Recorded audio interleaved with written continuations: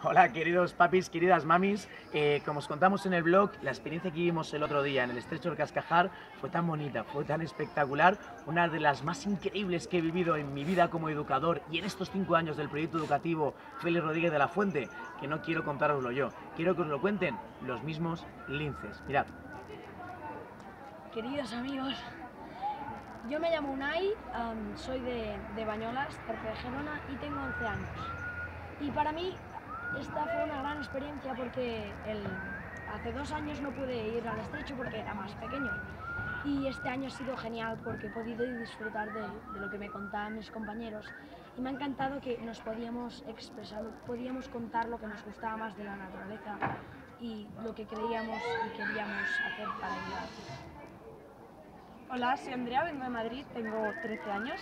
Para mí fue muy especial porque aunque no fuera la primera vez que fui, pues la magia que se siente al principio se sigue sintiendo igual porque al fin y al cabo es súper especial y además es que sientes de verdad que estás en contacto con la naturaleza.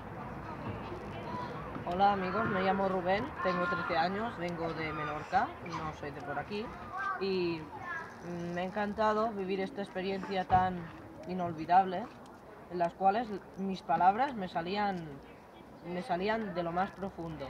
Y si hay algún lugar que se parezca al cielo, es ese lugar. Muchas gracias. Hola, yo soy María, tengo 11 años y soy de Toledo. Eh, la noche que vivimos en el estrecho fue muy mágica.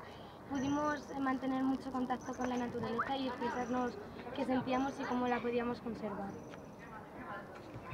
Hola, me voy a despedir de vosotros. Bueno, ya lo habéis visto, fue una experiencia increíble. Es muy difícil contaros todo lo que estamos viviendo en este campamento mágico. Y yo creo que al menos estas palabras de los linces sirven para compartir un poco esas ganas, esa fuerza y esa pasión que tenemos por vivir en equilibrio con la tierra. Sigue la aventura.